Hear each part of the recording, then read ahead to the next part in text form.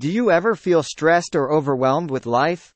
Regular exercise can help improve your mental health. Studies have shown that physical activity can reduce symptoms of anxiety and depression.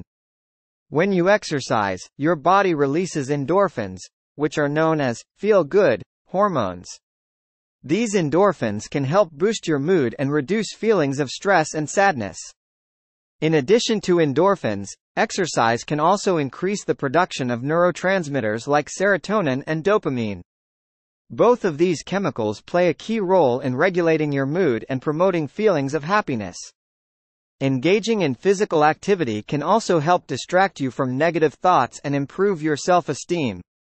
Exercise is a great way to take a break from the daily grind and give yourself a mental boost.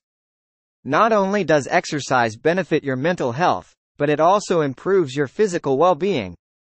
Regular workouts can help you sleep better, boost your energy levels, and enhance your overall quality of life. Thanks for watching.